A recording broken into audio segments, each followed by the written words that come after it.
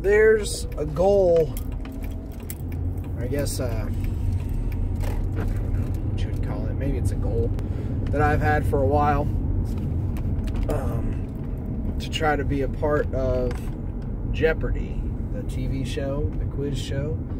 Um, it, I guess you could say it's a goal. It's a goal of mine to be on the show someday and to compete um, at a high enough level. I mean, to be competitive, not just to be on there and lose miserably or anything like that, but to be competitive, to actually uh, have a chance at winning. And I'm confident that I could do it, but it puts me out of my comfort zone. I mean, they film in California, so there's traveling involved. There's, if you do, I mean, the unpredictability of it is is what's kind of scary. Is if you do win, um, then you hang around, and there's no telling how long you hang around for. Now, I do have it on good authority that they film multiple episodes in a day. Um, so they actually film like an entire week's worth in one day. So you have to win like five five games in a row in order to actually have to be there for any length of time. But um, there's just the unknowns of it. It would be so much fun, and not just because you can win a lot of money, but to just be and experience that atmosphere. Um, a lot of people don't think Jeopardy is fun. I get a lot of enjoyment out of it. Um, but I introduced my students to Jeopardy today. We didn't watch any of it, but I talked about it. Because um, one of our spelling words this week is the word answer. And anytime somebody said answer, I said daily double. And then they didn't understand it, so I had to explain what I meant by that, why it was a joke. Um, they still didn't really get it. But the point is, not not everybody knows what Jeopardy is or knows what it's all about. But I explained to them that knowing information can win you money at the very least.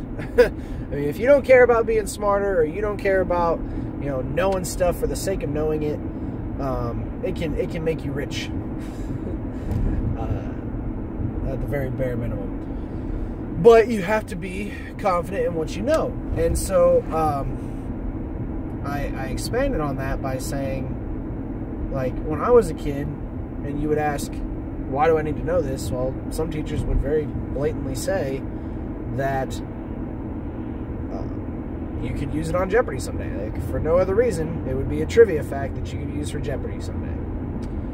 Um, and that was good enough for a lot of kids. But really, that's no reason to know something, to, to be informed for the sake of just having the knowledge.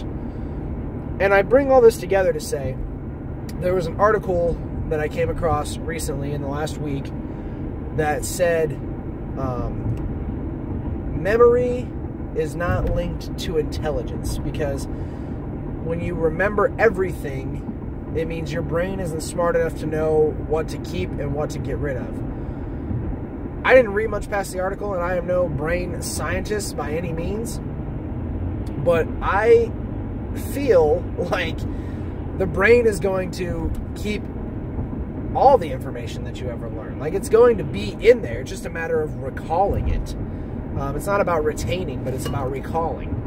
Um, that's how I feel about it. I mean, I, the brain is one of the most powerful computers on the face of the world.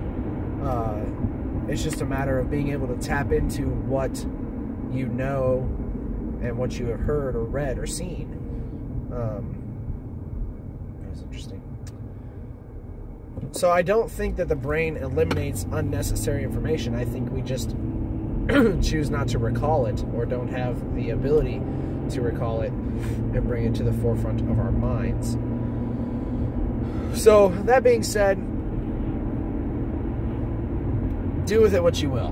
Information is important. It's it's good to be informed in some aspect or another. Now, do we need to know everything about everything? No, because there's other people that know those things. So there's no need for us to know all about every subject. There's just not. Um, but having a base or a background knowledge in each subject matter is definitely beneficial to you as a human because it allows you to discuss things with other humans that find those things interesting. So just be invested in what you know. Uh, do your best to train your brain to remember it, and yeah, lead a happier, healthier, smarter life. And if for no other reason, you can win Jeopardy someday. See you tomorrow.